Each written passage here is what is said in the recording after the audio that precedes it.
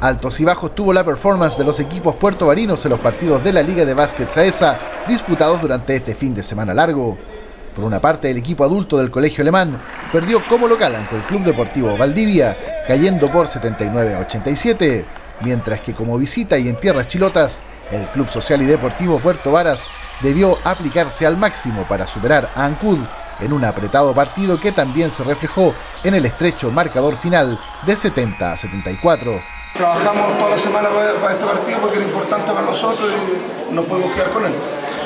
Yo creo que vamos posesiones más largas buscando en realidad el juego interior que Ancud ya se ha quedado en su hombre alto.